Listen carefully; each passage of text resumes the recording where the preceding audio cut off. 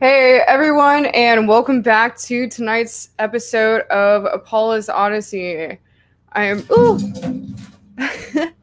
sorry about that. I am really excited about tonight's episode because you all are always asking me to uh, do live shows by myself, and I don't really do that very much. So I just want to like kind of take some time to get to know the audience tonight. Um, I want to do a live Q and A uh, I want to talk about some major updates that are going on in regards to this show and some plans I have for the future.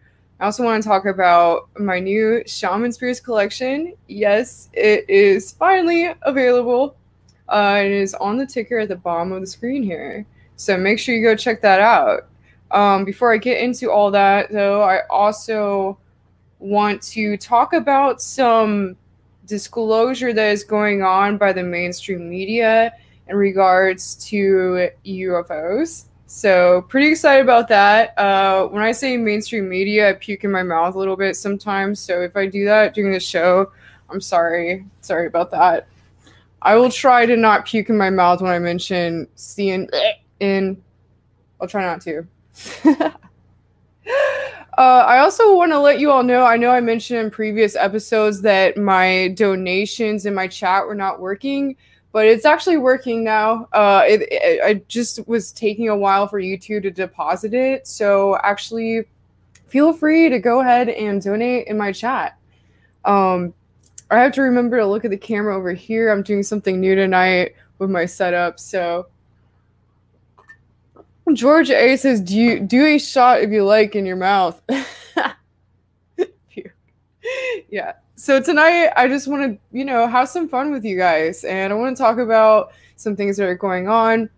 You know, I kind of consider myself an exo politician.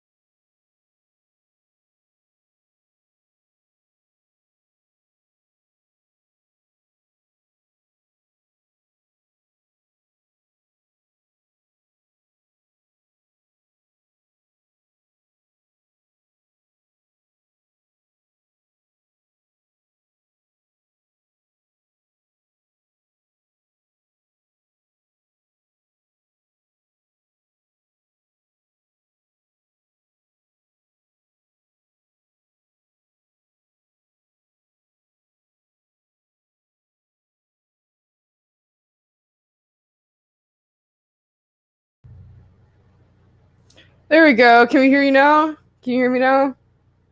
Yeah, yeah.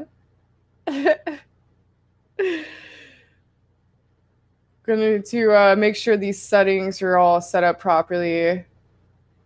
See, this is why I am getting my studio together, which I'm going to be talking about during this show. Okay, looks like we're good. Okay, cool. Sorry about that. Yeah, my browser randomly decides to lose connection sometimes. So this is, you know, this is why uh, with the direction of my show. So I'm kind of planning on doing a scripted series coming up here. It may be on a different platform, not this platform, but I do have a lot of scripted things that I am getting together to put out there. And it's kind of the main reason why I have my new studio. Uh, you know, I know a lot of you are probably wondering what's going on with that whole situation. Uh, it's really cool. You know, I'm getting it together, but the issue is now there's just so much of an echo every time I go in there that people are saying that, you know, it's annoying. So I have to figure out how to dampen the sound. I don't really know a whole lot about how all that works, but you know, working on getting it together. I, I guess that means I have to buy a bunch of soundproofing panels. So feel free to throw donations in the comments if you want to see me at that studio.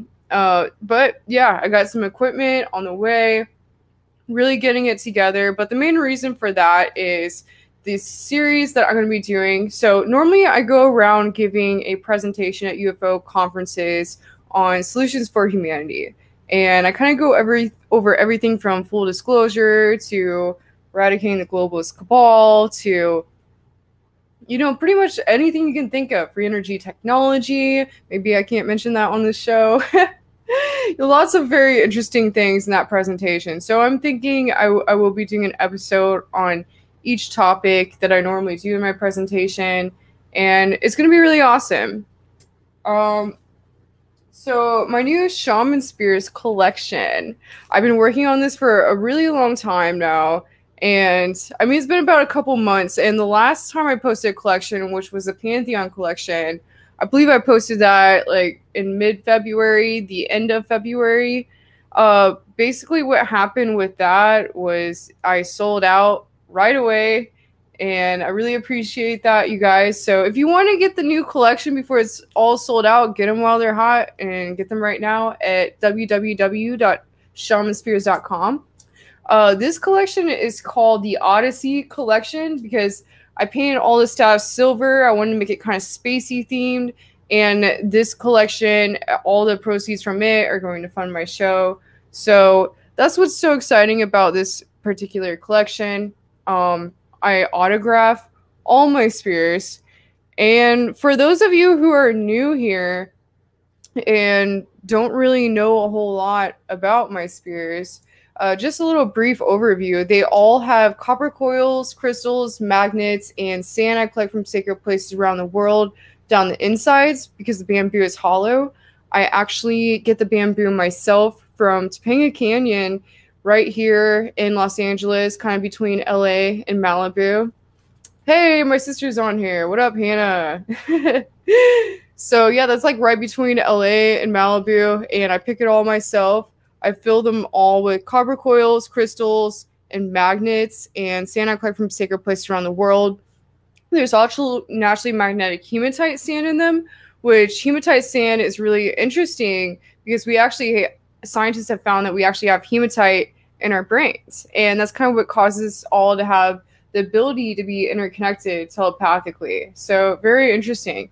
Um, so, basically, the main use for these is kind of um, basically interfacing with your own energy. And I like doing that. My favorite way of doing it is just taking them on hikes with me. Hannah's in the chat here.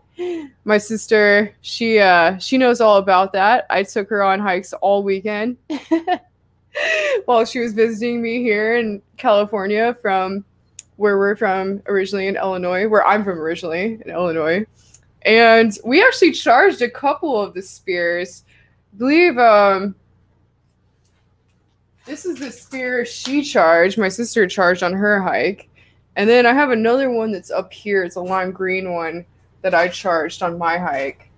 Yeah, baby Yoda got his own spear. I gave him his own personal spear. You know, someone here commented and said that they wanted to see baby Yoda with a spear. So I made sure I got that for him. Zune is asking how much for the Tucker Carlson spear. You know, I have had that spear up for like two months. If you guys want to check it out, just uh, go to shamanspears.com, go to the collections on the drop down menu uh, because that particular spear isn't up on the collections anymore. That's on the uh, Pantheon collection. So look on the Pantheon collection, and I actually dropped the price on it because no one got it. Everyone was just waiting for my new ones, I guess.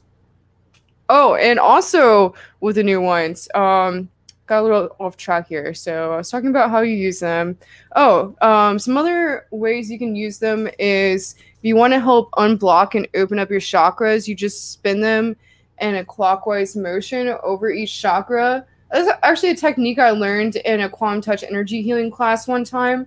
And you can actually, in the class, they taught us to just do it with your finger, like literally just going like this over each chakra helps unblock them and open them up. But if you do that with a shaman spear, oh my god, that's just gonna be the same thing but amplified times 10. Basically, what these spears do is they amplify everything like enormously. and anyone who's felt them, anyone who's picked them up knows what I'm talking about.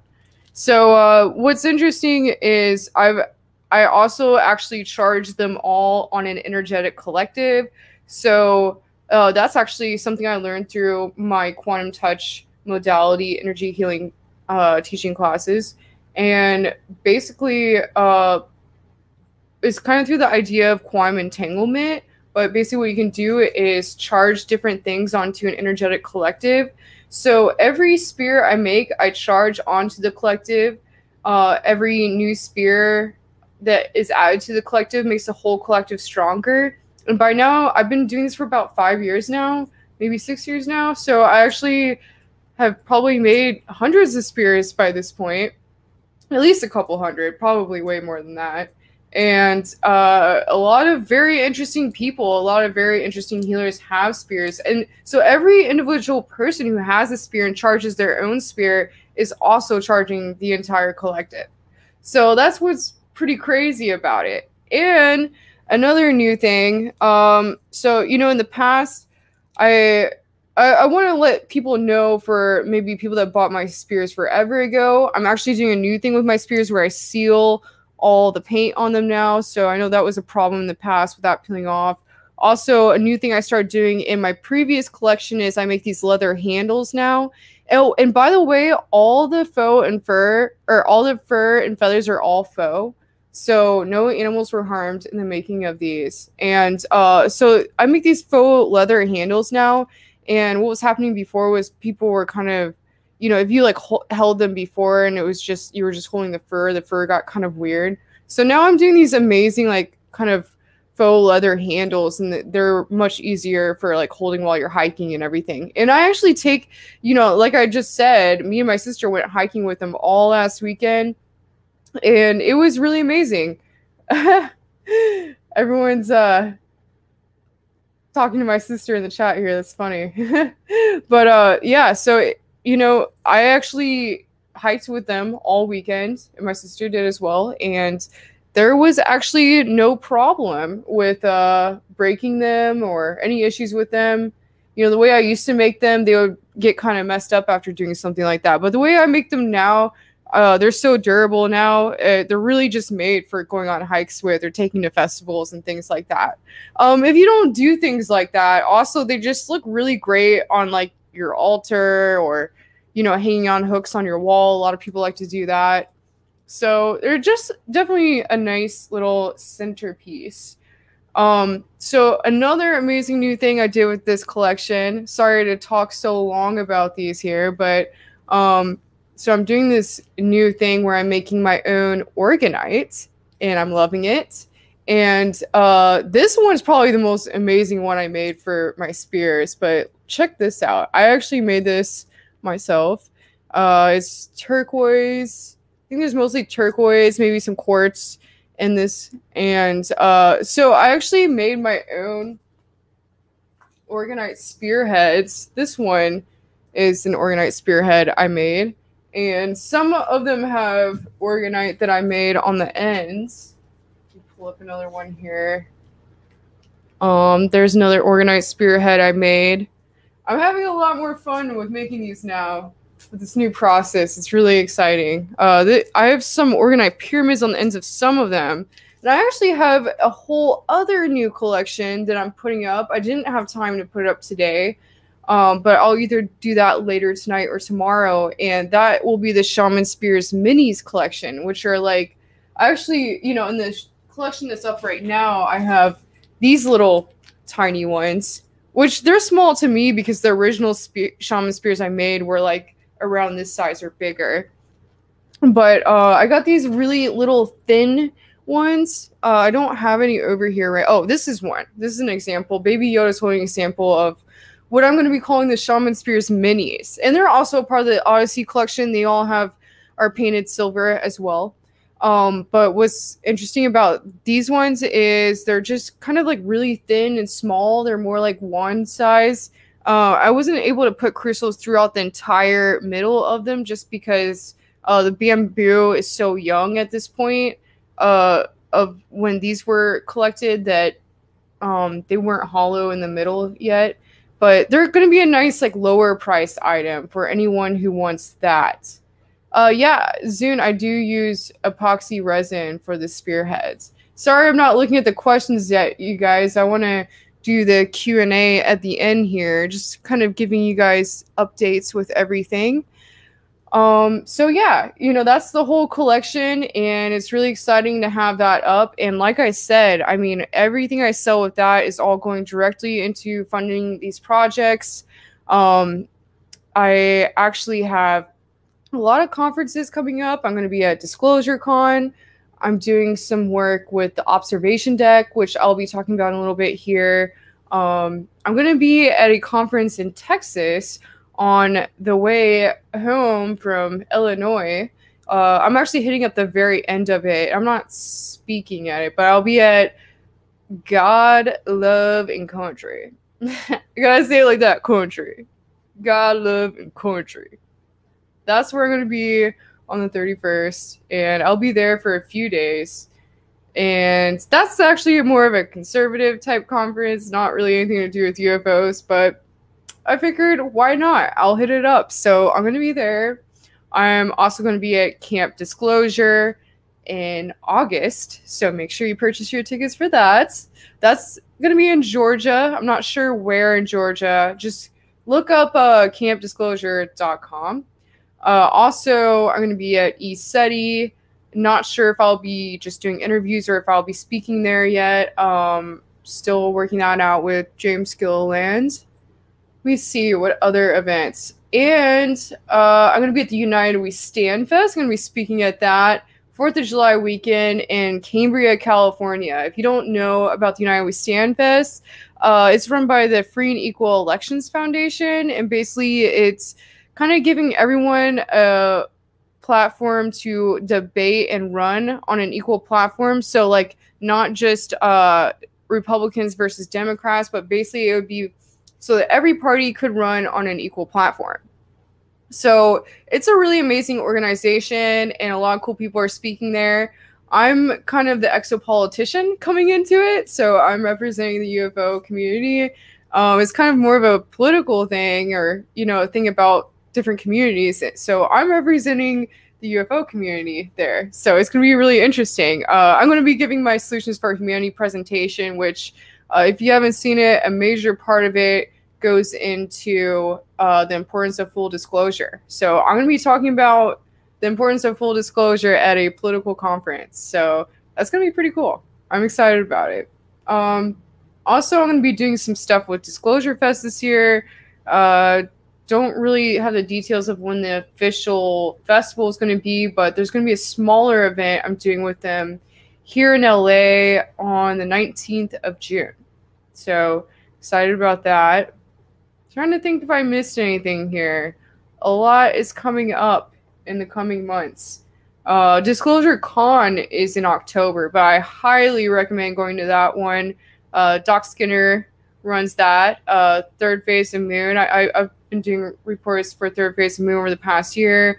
They're going to be there. A lot of us who have been on the panel for Third Phase of Moon are all going to be there. So it's going to be a really good time. So definitely recommend joining in on that. So, also, I got some really cool live streaming equipment that just came in. So, I'm going to be probably doing more live streams in different places. Let me know what you guys think about all that. But uh, yeah, I just did a live stream from the wisdom tree on top of a mountain, and it kind of worked, except that uh, there was a little bit of a lag because I was literally on top of a mountain and the internet wasn't really working out properly up there. Um, so yeah, sorry, just kind of looking at these comments a little back and forth here. Okay, what else do I want to get into? Um, also, I'm kind of getting a fashion line together. I'll be getting into that a little later, uh, or I'll let you know more about that later. Yeah, Taylor, I actually just mentioned that I will be at ECETI in July, but I don't know if I'll be speaking at it yet or if I'm just doing interviews. Still kind of waiting to see what James Gilliland has to say about that. Um, he said he would let me know pretty soon here, but I'll definitely be there. Either way, we'll definitely be there. Okay, so there's some really wild things happening in the world in regards to full disclosure.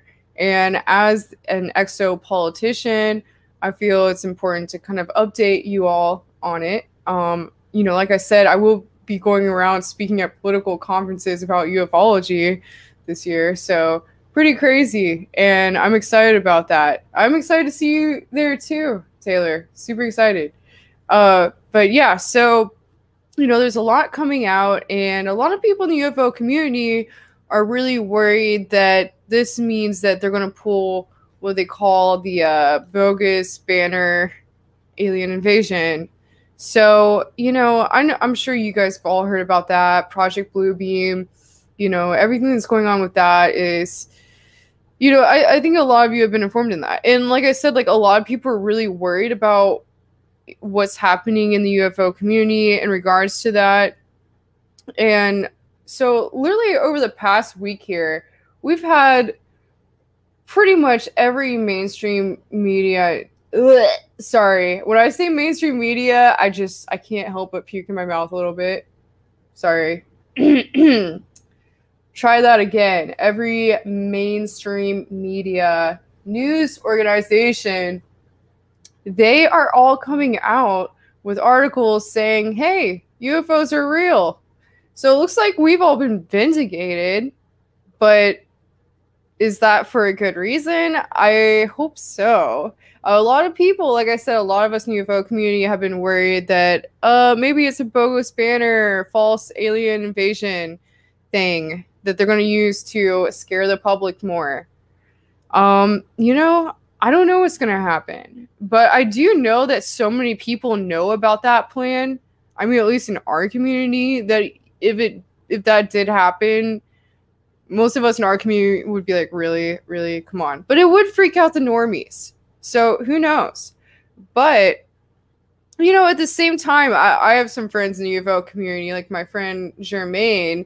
He's saying he thinks that's bogus and that disclosure is very important and it's a good thing it's coming out. And I agree. I agree with him. It's great it's coming out.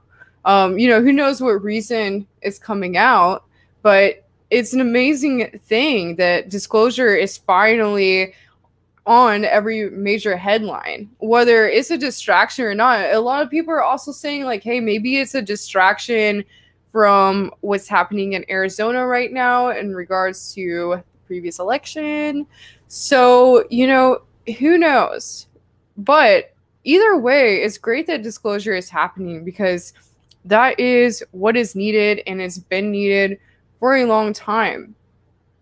Yeah, Jermaine's popping off right now on his live, apparently. He's been going on and on to me about that. So I agree with him. I agree. I mean, there's it's amazing that disclosure is coming out even if it's being maybe it's being used for a different reason like who cares at least it's coming out um you know it may be a bit of a distraction and it's funny because even like i even see like normie type people posting like memes like oh aliens are next so you know i don't think anyone would be surprised if a bogus banner alien invasion false attack thing actually happens because I mean, it seems to me like even normies know about at this point. So if they tried to pull that, it'd be pretty ridiculous.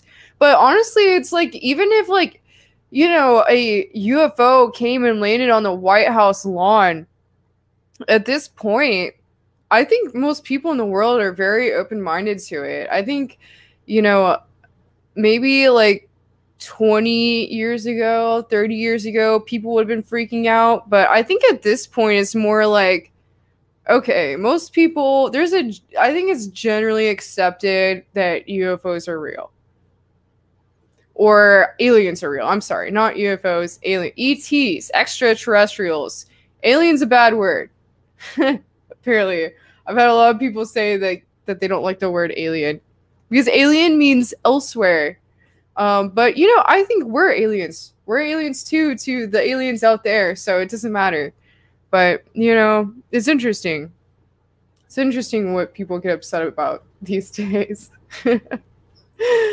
uh, yeah, Taylor here says their excuse of the mass hysteria is bullcrap. We can handle it now. Yeah, we totally can. We totally can. And honestly, but you know, I was gonna say, I mean, I'm not really sure how I'd react if I did see an alien in person. You know, it's like a lot of people are like, hey, you know, if I saw an alien, I'd be so excited. Hey, thanks City L for the super sticker. You're awesome. $50. Wow, let's see if we can top that. But uh yeah, you know, if I saw an alien, I'm not sure how I'd react. And a lot of people are like, you know, if I saw an alien, I would just like go on his ship and take off and have some fun. But you know, who knows? Like, what if you just like saw one and it was like such a crazy, like creepy thing that you just like had a heart attack and dropped dead? That would be unfortunate. I don't know how I would react. I really don't know. If you guys have any thoughts on that, comment in the chat because this is something I actually legit think about all the time. Like, if I saw an alien, what would I do? You know, I guess it depends on what the alien actually looks like. I mean, you know, if it was like a big, slimy, or like reptilian looking thing with red eyes. Um, I might be kind of freaked out. Uh, if it was something like this, I'd be like, hell yeah, this guy's cute. You know, that would be amazing. So, I don't know. I mean, no one knows how they're going to react when it comes to this. Like, you never know until you're in the moment. But all I know is that me personally, at this point, with everything that's been going on in the world over the past year, I think if an alien came to me, I'm not sure how I would react at first, but after I get over it, whether it's very excited or kind of freaked out, I'd be like, hey, please take me with you. Please. I want to go with you. I would be begging this alien to take me uh with them. So because like, you know, I've just been doing so much research over the past year on all this and from what I've heard Earth is really far from the galactic center and like basically we're like this like you know biological uh, or like a zoological or like a terrarium type thing. It's it's not terrarium. I'm trying to think of like the word for it. It's like a bio terrarium you know those places botanical garden that's what it is botanical garden basically from what i've heard planet earth is basically like a botanical garden or a zoological place and from what i've heard they just kind of like aliens quote unquote uh just kind of drop off different random species here and like kind of come here to like check things out and have like experiments but besides that, it's like we're so far from the galactic center. Like all the planets that are like really where everything is happening are closer to the galactic center. And we're just kind of like, you know, this prison planet that's just like floating around like way far away from like where everything is happening. And I like to be where things are happening. But I'm not I'm not you know talking bad about planet Earth. Planet Earth is a cool place and we need to be we need to liberate ourselves and not make this excuse like, oh, we're stuck in a prison planet. We're totally screwed. Because that's not the case. You know, we can get over it. We can get off, get out of the prison planet mindset. And all it takes is all of us coming together and liberating ourselves. That's what it takes. And, you know, I feel like a lot of us in this community have been saying this for a long time and it's like, how much longer do we have to keep saying this? And, you know, eh, I mean, obviously everyone has to needs to be the change they want to see in the world. And I, I feel like, you know, it, it starts with you. It really does. It starts with you and each individual person and the changes you make in yourself and how you do things in your own life. Yeah, Earth is beautiful and it is magnificent. But you know, I would just really like to go out and explore some other planets and see what that's about.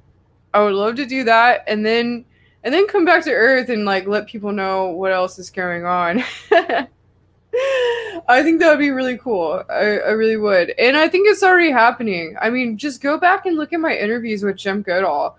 Um, you know, like he always says, uh, what does he say? He always has he has this quote he always says. It was like he had interviewed, you know, obviously he's done all this work like interviewing uh you know, or like writing books about like Lockheed Skunk Works, and he knows all these really important people. And he uh, had interviewed the CEO, I believe it was, or vice president of Lockheed Skunk Works, the previous one when they were on their deathbed, and they told him.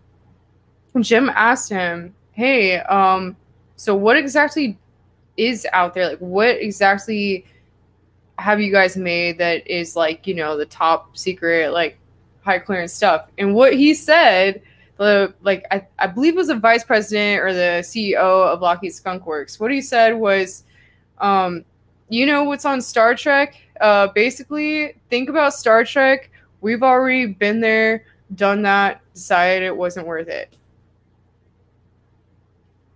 What does that mean? I mean that is crazy. It's like okay I want to know what he means by that. Does that mean that you know, obviously we know we know about the technology that's on Star Trek. We've seen Star Trek, Star Wars, and if that technology isn't worth it, if they've already been there, done that, obviously they've already been doing the spacefaring civilization thing, and just like the general public doesn't know about it. And then on top of that, it's like, why would it not be worth it? To me that means like maybe like what's the point of a machine if you can just like use some sort of like device or you know do something with your energy or something where you just kind of jump interdimensionally and just appear wherever you want whenever you want? So uh you know there's a lot of really interesting stuff that's happening in the world. You know i'm going to get to the comments a little later here. So um or i mean the questions. Sorry i'm kind of going back and forth looking at the questions here. Okay so i want to get into these articles what's happening in the world. First of all i don't know if you guys have seen this.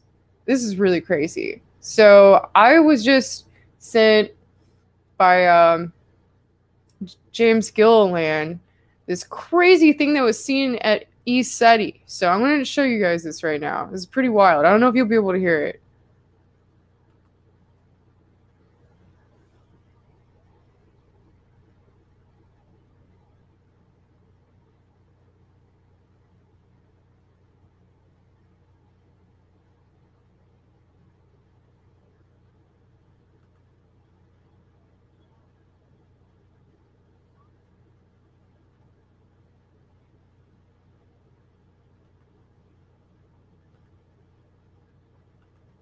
All right.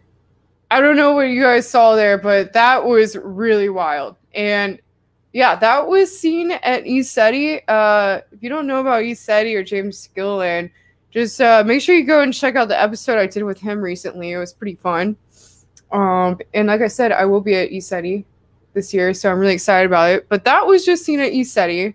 So there's UFO sightings happening all over the world, like insane right now. Just like literally, like I said, every mainstream. Bleh, sorry, man. I just I really cannot say mainstream media without puking. Sorry, you know, but all those organizations they have been talking about UFOs. Every single one of them. So here, let me show you some some more of these here.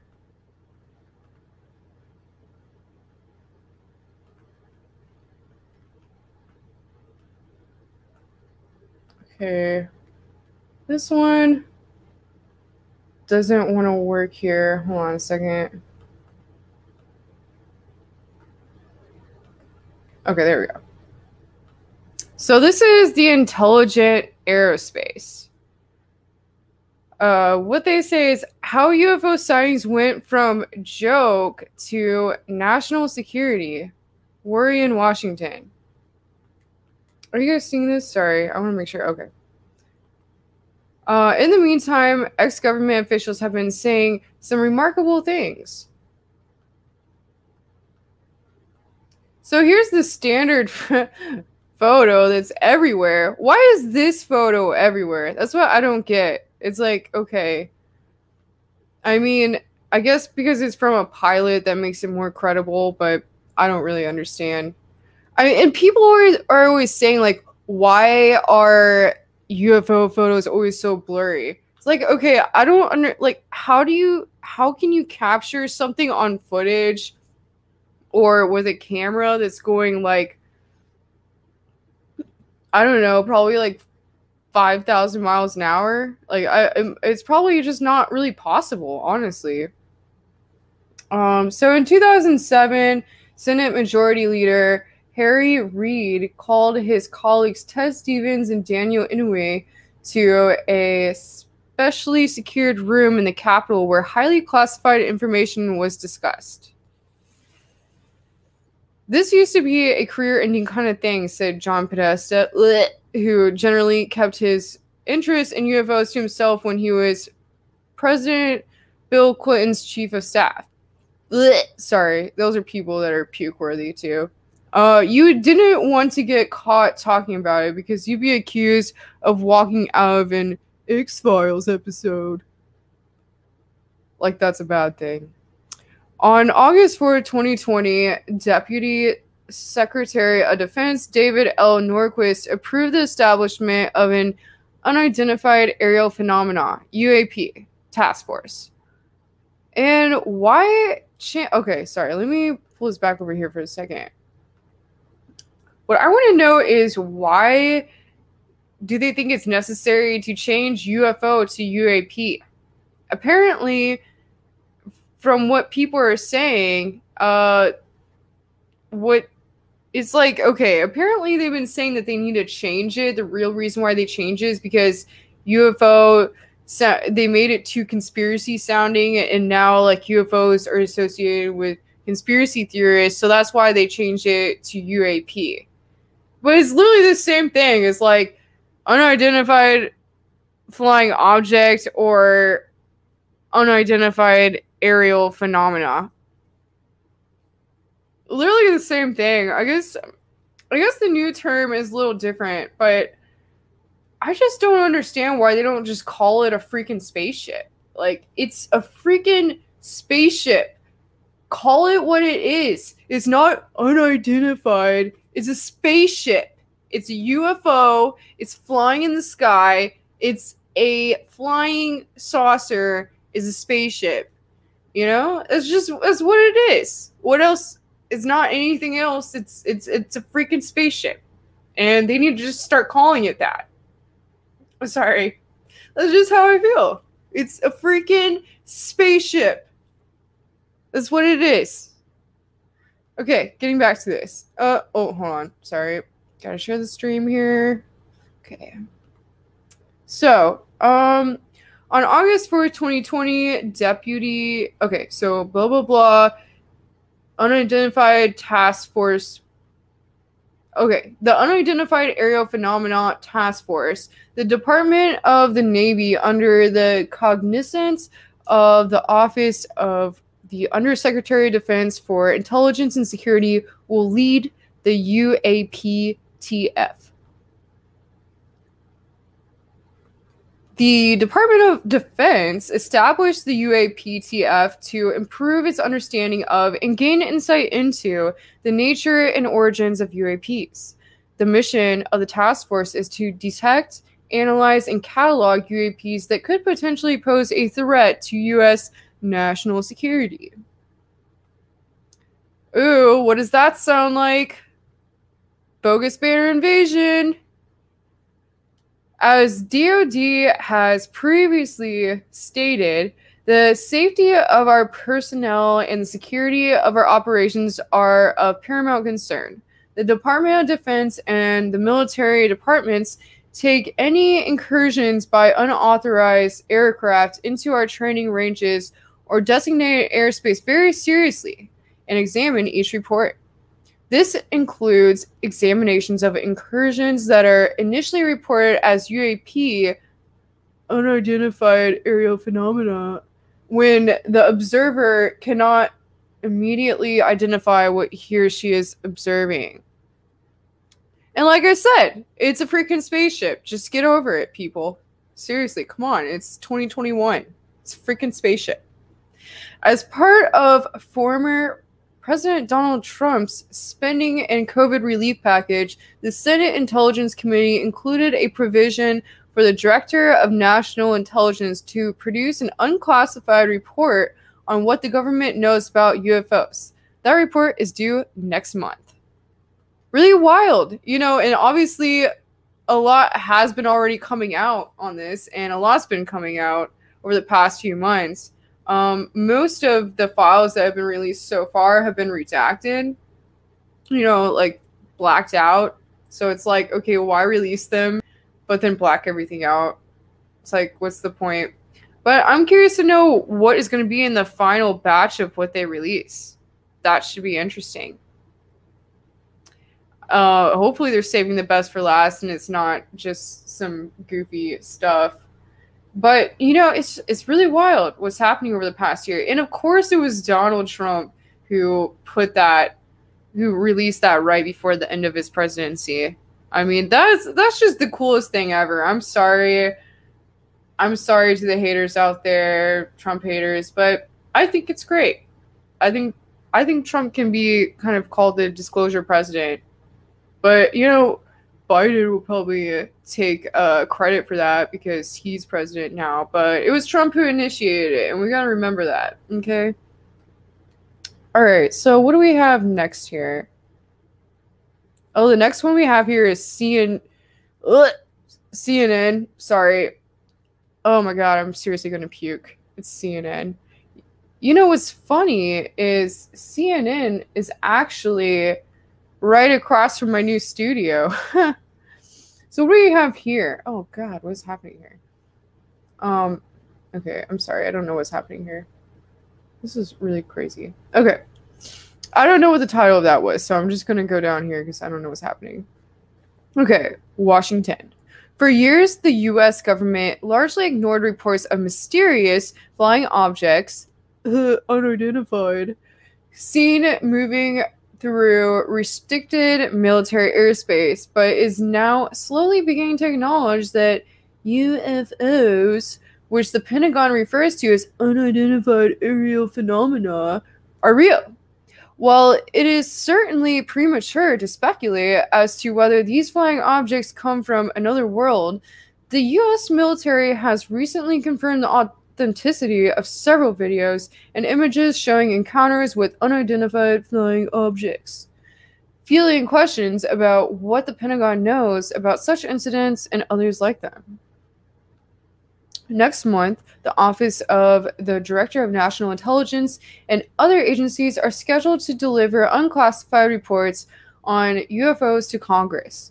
The Department of Defense's watchdog is also set to examine how the Pentagon has handled reports of UFOs. That's interesting. And whatever, I'm not going to get into the rest of this. You know,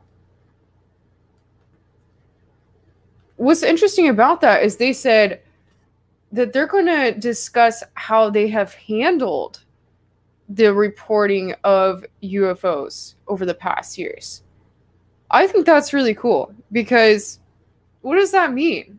That means that, you know, some people out there are thinking that there's been a problem with the way that the government has been handling reporting on UFOs, spaceships. So, you know, that's that's really fascinating. It's like, okay, um, I'm wondering what's going to be discussed here. I mean, are they going to discuss, you know, how wrong it was to keep things classified that should not have been secret for so long? And I mean, why the secrecy in the first place? That's what I want to know.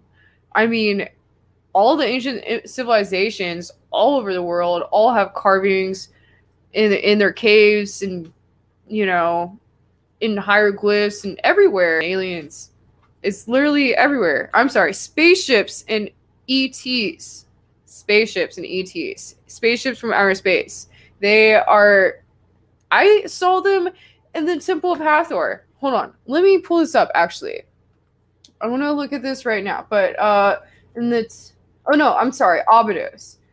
At the Temple of Abydos in Egypt, there is hold on.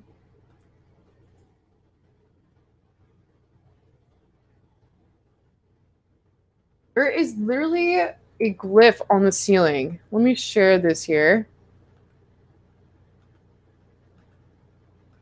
So this is on the ceiling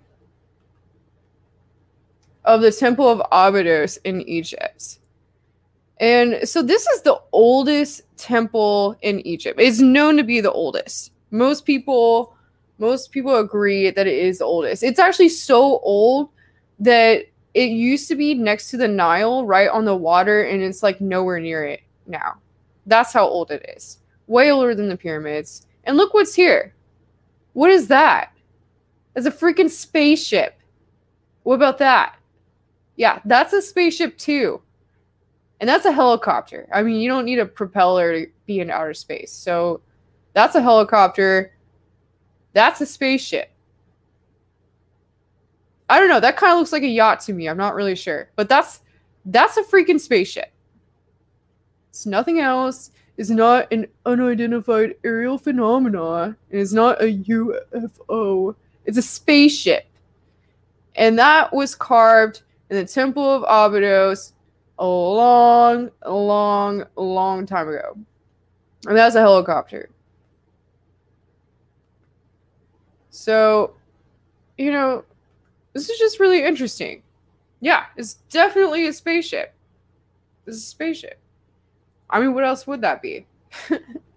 so, um, you know, we have ancient civilizations knew about this. So I want to know at what point did it all of a sudden become secret? Like when did people start like forgetting that like UFOs were real? When did they start I mean, how long ago did they start calling people that talked about aliens and spaceships conspiracy theorists?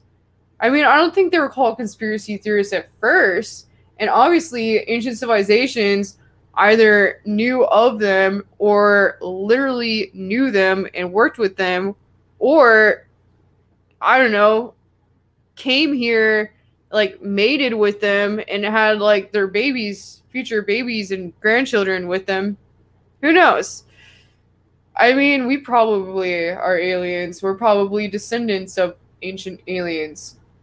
So at what point did it become a secret? And like, you know, everyone's always like, "Oh, disclosure is so important. It's so great we're having disclosure." But what I want to what always I feel like saying is like, hey, like, why the secrecy in the first place? Why was it ever necessary? I want to know. I mean, obviously, these ancient civilizations, they knew there was aliens out there. They had spaceships flying around. So, why the secrecy? I just don't understand. You know, I think it had to do with a certain religion taking control of the world at a certain time in history. And I'm not going to name names, but this certain religion got very dogmatic and out of control. And, you know, and just this sector of this religion, I wouldn't say everyone that was a part of this religion, but just a certain sector of this religion got really out of control and kind of like, you know, burned a lot of the books that had a lot of the knowledge about these things and, you know, threatened people and killed people and started burning them on stakes and crazy things like that. And after a while, it's like after people were threatened for so long, and then most of those people died out, and then the people that were remaining, you know, or came later, you know, obviously at a certain time, it, it was like people didn't know about it anymore and then there was all this stigma about it and people were scared to talk about it and then you know for like thousand like a thousand years or maybe less than that people kind of aren't talking about it anymore and then all of a sudden you know there's this roswell crash that happens and people start talking about it again they're like you know there's UFOs. And then people start getting labeled conspiracy theorists because they're like, oh, it was a weather balloon. You're stupid. Don't talk about that. Um, which I mean, weather balloons don't look like that. But anyway, you know, so now they're really coming out with the information, and it's like they've been keeping it a secret for so long. It's like embarrassing. It really is. It's like everyone knows about this, mostly everyone. And people that don't are really, they just watch CNN. Sorry. Oh, God. I can't even say that word without puking. But, you know, they watch that and I guess they just really believe everything they say. But now they're talking about unidentified aerial phenomena. So I guess everyone's going to be talking about it now. So this is interesting. So hopefully it's not being used for the wrong reason. And, you know, who knows what's going to happen. Um, but, you know, there's still a lot more that's coming out here. Let me see. What else do I have here? Okay, this is USA Today. Sightings all over the world. Another former federal official discusses UFOs upcoming congressional report. So this came out on May 17th. A lot of these articles came out last week.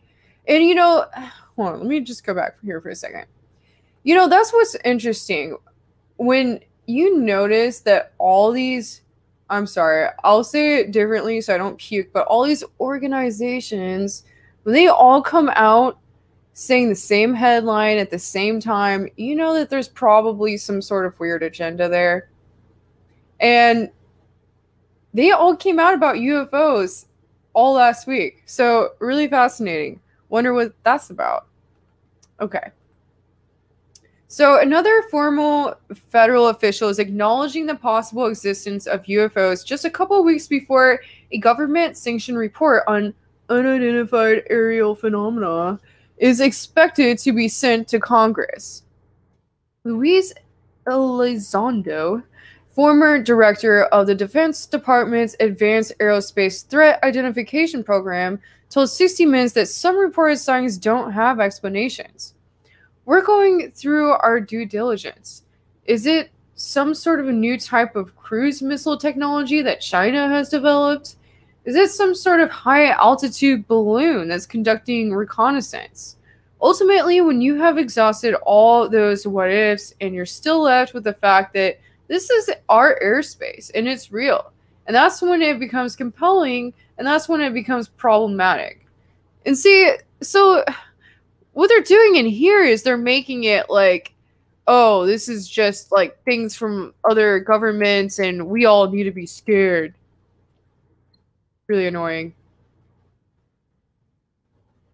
Also speaking on the same Sunday night segment, former Navy pilot David Fravor discussed a 2004 incident off Southern California in which he said he and three other pilots spotted an unexplained large area of roiling whitewater surrounded by a calm sea. And we saw this little white tic tac looking object, and it's just kind of moving above the whitewater area. So at least he he calls it a tic tac object. He's like, this thing looks like, but you know that that sounds like it's our government. That to me sounds like a black budget program, either our government or you know. That's the other interesting thing here is. Take this off for a second. That's the other interesting thing here. You know, just because our government isn't disclosing things you know, that doesn't mean that, you know, maybe like some of these things that are happening, like some of this technology, like the Tic Tac technology, uh, or you know the Tic Tac shaped UFOs, this car shaped ones, um, flying saucer technology, antigravity technology. Maybe our government doesn't necessarily have it, and it's actually black budget corporations that have it. You know, that's something to think about too. It's like, how can if that is the case, then how can they disclose it when they don't technically own it? I mean, from what I've heard, a lot of our tax dollars go into actually go into these black budget programs and you know it's kind of like these like mad scientists that are doing their own thing and our government's like hey can you give us some of that? And like literally they have to like kind of like threaten them to like get some of this information from them or some of this technology. So i mean who knows? That's another thing to think about as well is like you know is it like obviously they have like area 51 like is but are there other facilities in the united states that are working with highly advanced technologies and they're like you know these crazy mad scientists or like you know elite people that have their own projects and you know major they're funded by major corporations. Yeah taylor here says didn't corporations try to hijack the black budget government funded programs yeah that that's what i've heard and i mean from from what I've heard, they they own them. Like these major corporations like own them themselves, and then you know our government sometimes doesn't even really have anything to do with them. So you know that might be another reason for the secrecy. So I want to go back to this here. What else do we have here? The director of national intelligence and secretary of defense were asked were tasked with creating the unclassified report for intelligence and armed services committees in Congress.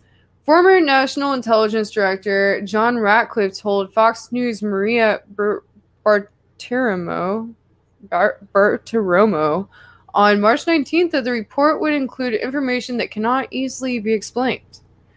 Ratcliffe said some UFO sightings have been declassified in the past, but the report will present more information to the American people. There have been sightings all over the world, he said. And when we talk about sightings, the other thing I will tell you, it's not just a pilot or just a satellite or some intelligence collection. Usually we have multiple sensors that are picking up these things. Okay. Whoa. What's happening? Okay, sorry about that. Okay.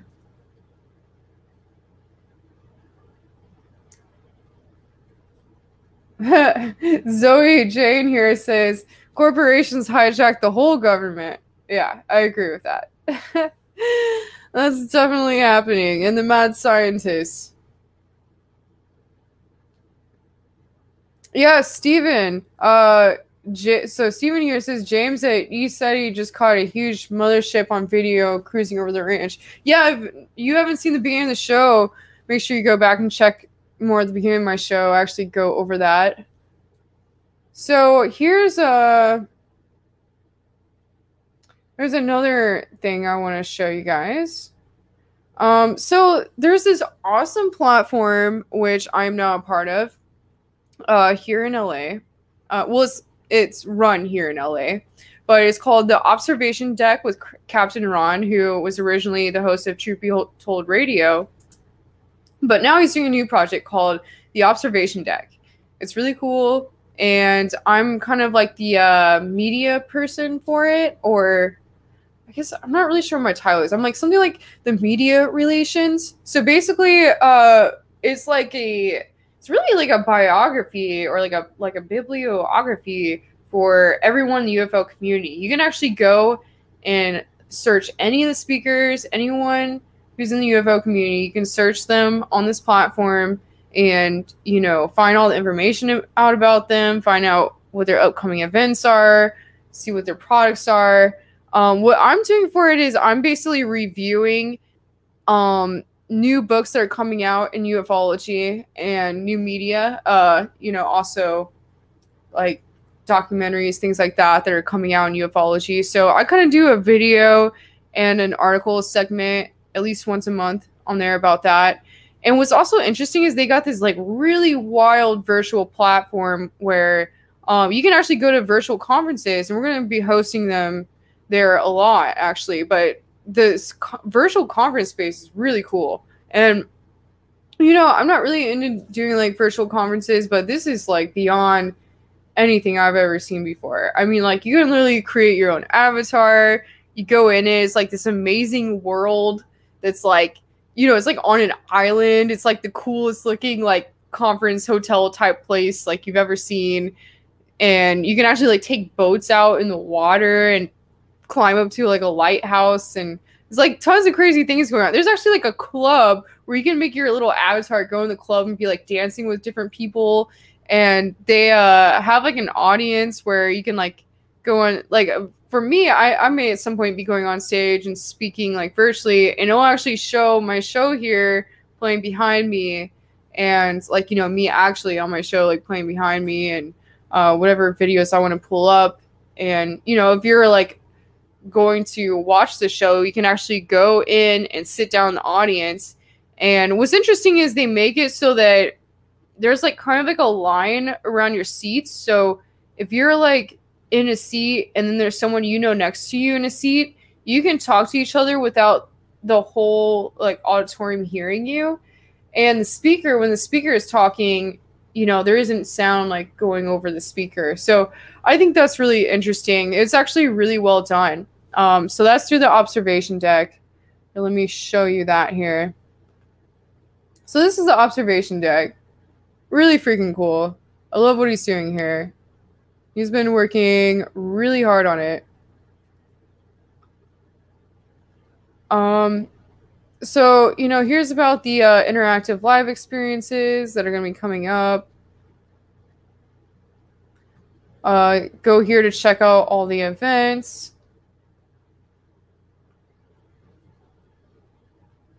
Like I said, you'll be able to find speakers, authors, researchers. Um, I definitely recommend going to check this out.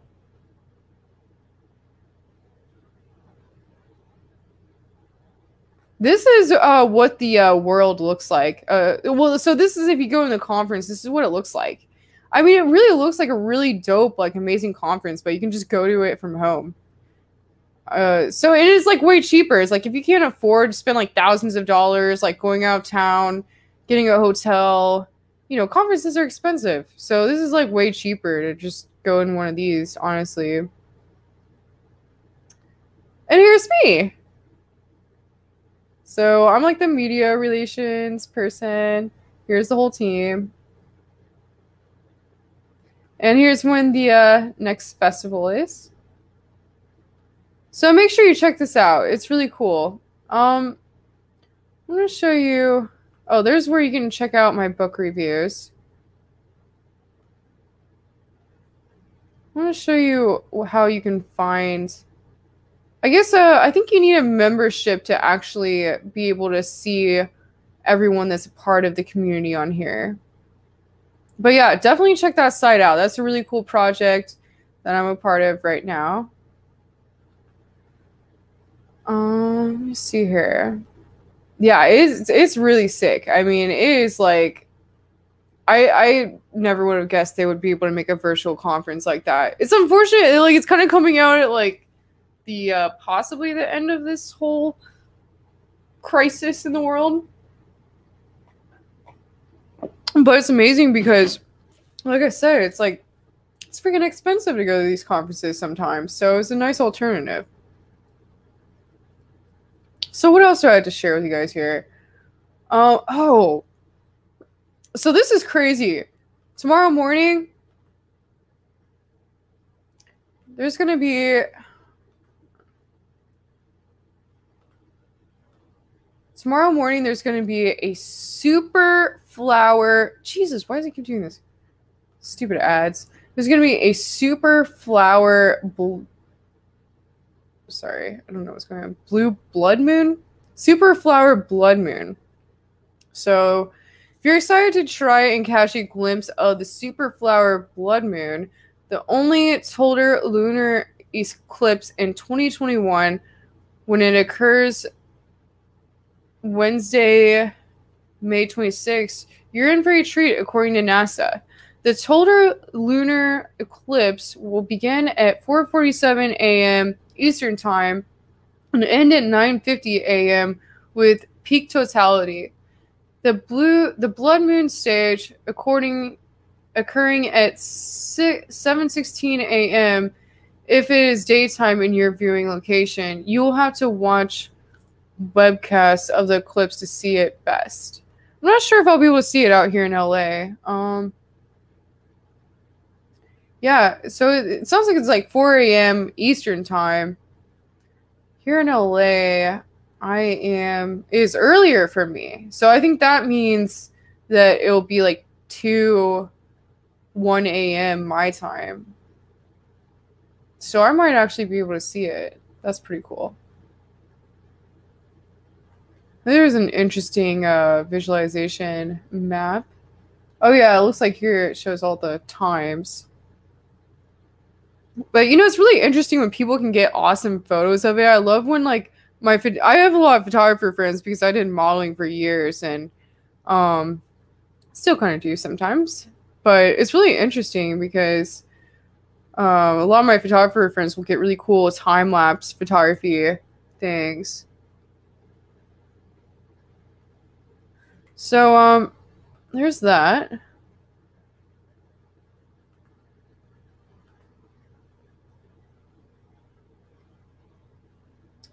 So, um, before I get into, you know, I said I was going to do a Q&A on here and let you guys ask whatever. Um, go ahead and start asking any questions. I know there's a lot you guys asked that I didn't go back and look at yet, so I'll make sure I do that. Um, but before I get into the Q&A part, one last thing I want to show you all. Uh, Shaman Spears. Here's the actual site. I forgot to show you guys this earlier, but if you haven't seen it yet, Here's my Shaman Spears site. And I don't just have my spears up there now. I have other awesome stuff too. But uh, here's the Odyssey collection. Uh, the stabs actually range from a $100 to 400 Make sure you click view all because there's a lot of wild looking ones in here. I want to show you the uh, larger ones I have here. So most of these are kind of like mid or smaller sized ones. But actually, so these ones are actually like staff size. This one is like you can have this as like a staff, like you like a walking stick basically. And these ones are pretty big too. These these three are behind me right now. Uh, so you can see these three in the video right now behind me. Um, let me see here. And like I said, I also have a smaller collection, which will be like these really tiny little spears. Uh, I haven't been able to post those yet. We'll do that a little later tonight or tomorrow. But those will be a lower price item. I'm probably going to be selling those for $77 each. And these are the uh, Orgonite key necklaces. They have moldavite in them and crushed fluorite, and I like to call them initiation keys. A lot of people are confused. They're like, "Oh my god, are those four thousand four hundred and forty-four dollars?" And I'm like, "No, they're actually forty-four dollars and forty-four cents." I might need to go back and just get take the uh, 44 cent part off because people get freaked out. Also have these amazing brass knuckles, two of them left that are orgonite. They're actually orgonite brass knuckles. And these orgonite dagger necklaces. Like I said, all purchases of my art help fund the future of this show because I have some awesome things planned. I just need to get richer to do the amazing things that I want to do. so help me out. I have a few more. Uh, oh, I have a few more of these pyramids left. I'm gonna make some more pretty soon here too. There's some pictures of my friends having fun with spears. so I really enjoy uh, making every time I go on a hike with people, I always have to bring them uh, bring spears with me. I mean, I always go hiking with spears. It's just it's just what I do. And I can't go hiking without them. Like literally, even if I travel out of town, I take smaller ones with me. I usually hike with more like mid-sized ones, like I don't know. This is a little small. I usually have them about around this size. Um, yeah. And actually every time I go hiking with friends, like I usually have a bunch of spears in the back of my alien jeep, and I just make everyone carry a spear. And like literally, if you go hiking with me, you are not allowed to go hiking without a spear. That's just the way it works. so it's pretty funny. Pretty funny. Okay, so we're gonna get into the uh, question part. Oh, Taylor says, "How much are the daggers?" The dagger necklaces are, um, I believe those were around seventy-seven dollars, seventy-seven dollars and seventy-seven cents.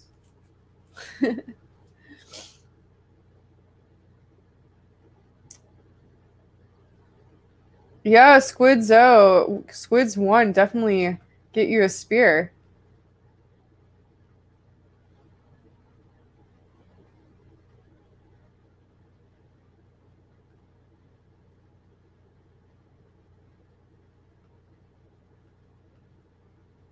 Okay, I'm just uh Oh, my mom is on here and she says, Do you have a favorite on your new collection?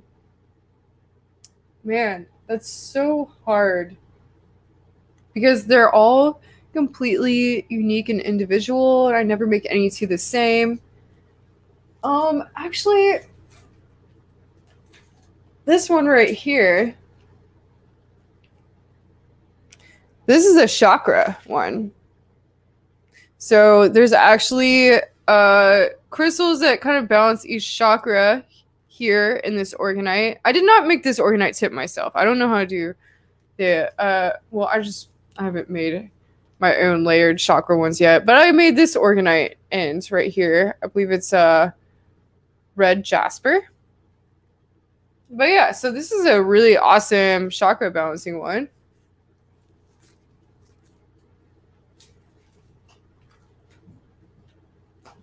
And this one here, this one's like, this one's a little bit of a higher price one. I think it's only like $333.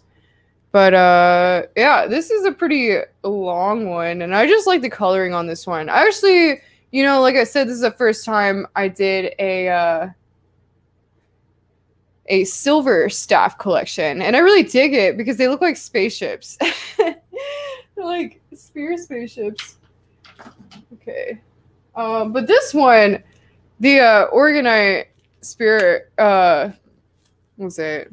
The Orgonite Sphere I put on the end of this one's really wild. I actually made that myself. Squid says, I like the darker colored ones. Rick Mackey here says, I think all the UFO news lately on MSM is distractions from the audits and the final deep state move is needed if needed. Yeah, I was talking about that at the beginning of the show. A lot of people think that, and you know, it's unfortunate. It's like, why are you use something so amazing like this to uh to distract people? I mean, really, there's just so much crazy things going on in the world. It's like it's all just kind of a distraction, really. I'm looking through the old comments now. Let me know if you guys have any questions. Um,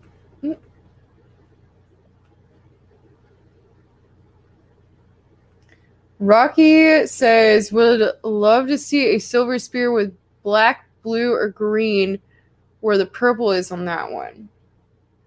I have a lot here, so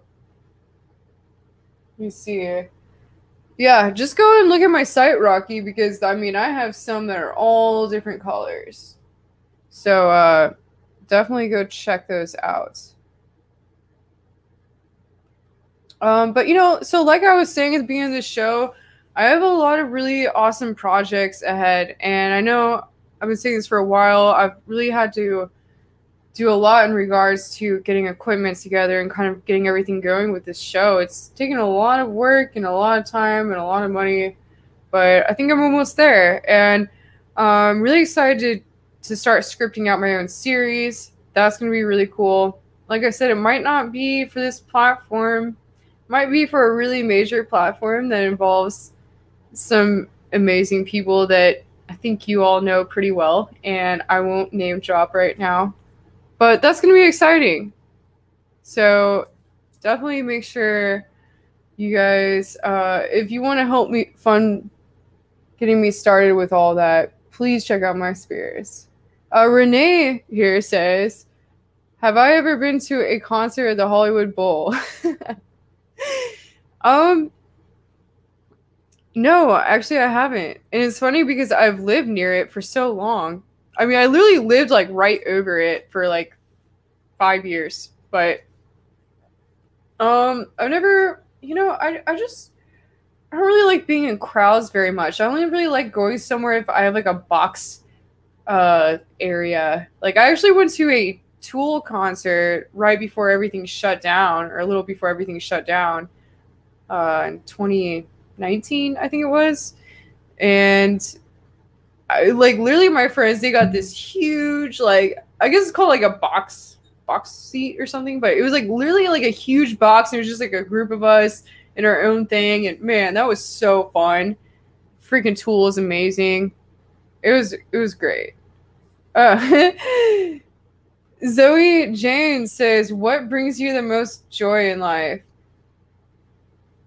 You know, I think creating my own things and people loving my creations. That's definitely what brings me the most joy. And I'm not just saying that because I'm talking about my spears and everything I'm doing, but you know, it, I just, it really does. It's like if you put all this time and energy into making something and then you put it out there and people love it dude that's just like it's like the best feeling ever it's like wow okay really made a difference here it's a great feeling um also i don't know also going on hikes going on hikes brings me joy definitely i just did that all weekend with my sister my little sister came in town from the midwest and I took her to the Wisdom Tree, which is by the Hollywood sign, and then we ended up hiking to the Hollywood sign right after.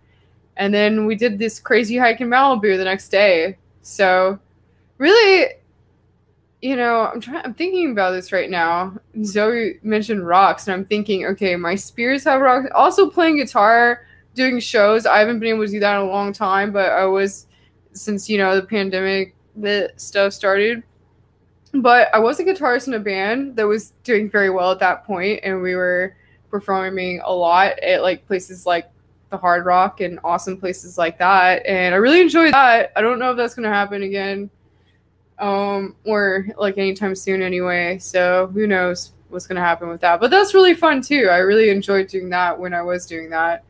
Also, really enjoyed acting. Did a lot with that, but the industry has been really weird lately, unfortunately, the entertainment industry. So that's why I'm doing this show. It's like I can perform on here in front of all you guys, and I can talk about whatever I want to talk about, except I have to be kind of careful. can't talk about everything I want to talk about. I can't really necessarily do everything I want to do on here. But you know, there's a lot of things I do want to do on here that I'm really excited about. I'm going to start bringing you guys on adventures with me. I got some equipment to like kind of film my adventures and wild experiences I have. And you know, I I did actually film a lot uh, leading up to the election, which I never released because so much crazy things happen in the world. But I'm going to be making a full documentary of all the footage I got with that. So hang tight for that too. I think uh, I'm I'm going to start doing that as a side project while I'm getting this series together. I just I probably won't release it on this platform just because I don't want to get taken down because it's you know it's pretty wild. Um, but yeah, I'll probably release that somewhere else. So I'm excited for all that. But so I'm just thinking, uh, playing guitar, selling my spears, and hiking, climbing on mountains. So literally everything that brings me joy in life has to do with rocks rock climbing, rocks on sticks, rocking out. I just love rocks, I guess. so it says, Yay, Adventures Lara Croft style. You know, Lara Croft, that is like the epitome of me and everything I want to be. Like, I just, I always loved that growing up. I just, I idolized the first uh, Tomb Raider. I just really freaking loved it And you know, I started like thinking about later. I always kind of like before I used to have my style a lot like hers. Like I would do like the braids and stuff on adventures. Like I kind of have more of a reporter style right now, but um, you know, it was interesting because like I went back and watched that movie a while back, and I was like, dude, she's like literally like basically fighting the Illuminati in this like movie. Like that's so crazy. And it was just like I don't know. I just love going on wild adventures to like third world countries like Egypt and Machu Picchu and uh I'm literally to me like all my number one destinations in the world are tombs and yeah, that's what I'm all about. so I'm like real life Tomb Raider. That's the epitome of everything I want to be. Love it.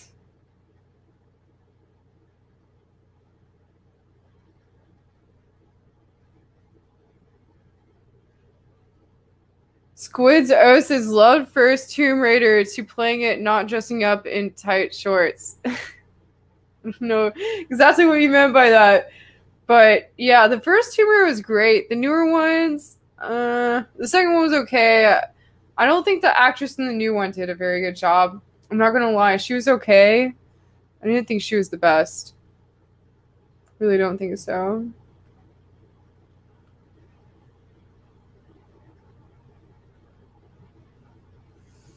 Hmm. Oh, Zune said, "Have you?" Okay, I'm going back to like older comments. Zune said, "Have you visited Stonehenge?" I have not, and I want to really bad. I've actually never been to Europe before. Believe it or not, I, I went to Egypt, and I went to Mexico, and I went to Peru, and those are the only countries I've been to. I only go to third world countries. That's my thing.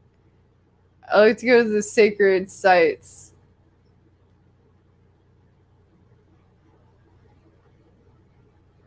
In the comments here. Someone said our true history is yet to be discovered. I agree with that 100%.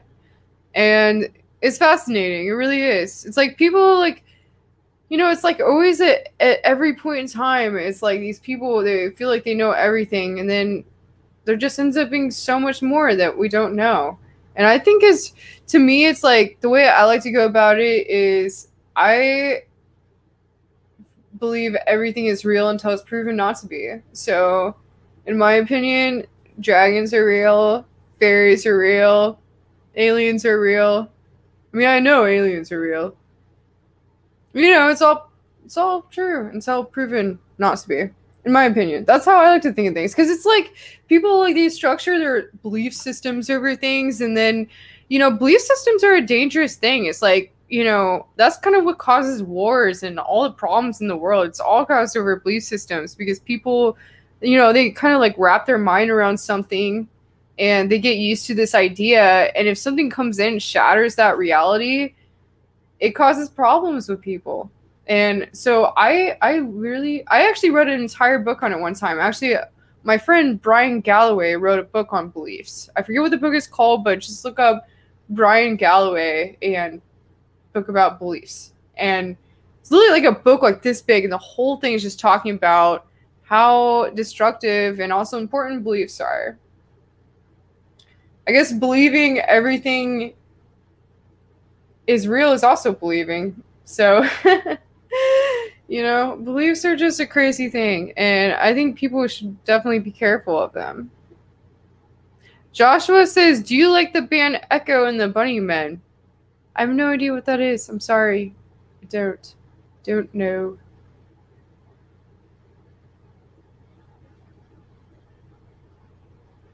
Okay, well, you know, I think uh I'm gonna get ready to get off here. So like I said, again, go check out the Odyssey collection, which is now available on shamanspears.com. And I hope to see you all next time. Like I said, oh, also Thursday, I will not be having a show Thursday because I will be flying out of town. Uh, but catch me on the first. I'll still be out of town on the first, but I won't be on a plane that day. So I'm going to be going live from Texas on the I, I think it's the first. Yeah, the first.